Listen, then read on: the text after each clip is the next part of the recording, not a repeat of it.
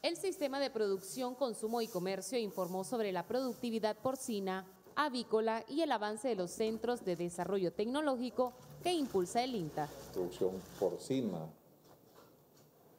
eh, de enero a junio de 2023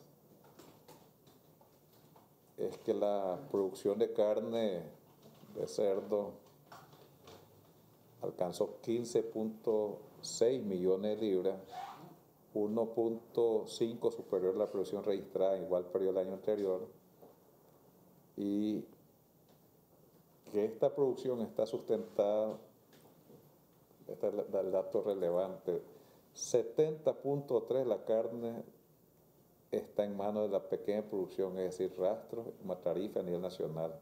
Una disminución de importación de cerdo, o sea, al mismo tiempo que hay un crecimiento de la producción eh, eso es muy importante, decir, la producción nacional está teniendo un comportamiento dinámico que, es muy bueno para el país porque la meta es alcanzar el 100% de cobertura y tener capacidad, después de alcanzarse el 100%, de exportar. En la producción avícola,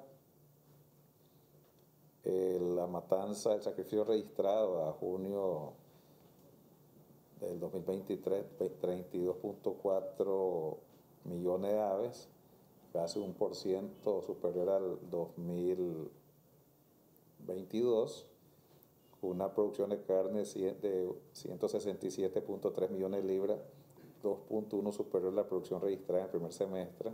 El sistema de producción cuenta con 26 fincas de experimentos y 15 centros especializados en granos básicos, musáceas, cacao, café y forrajes para crear nuevas semillas resistentes y de mayor productividad.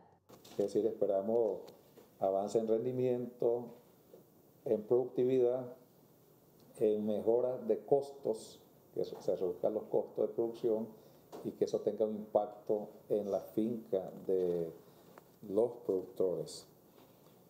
Eh, en investigación, ¿qué ha hecho estos centros tecnológicos.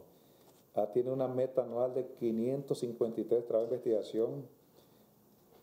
Hemos establecido un total de 359 experimentos con un avance de 65%. Ana Carmen Martínez, Multinoticias. Canal 4 es el medio de comunicación líder en información de interés para los nicaragüenses. Te invitamos a suscribirte a nuestro canal y compartir nuestro contenido con tus amigos para que se puedan informar con nosotros.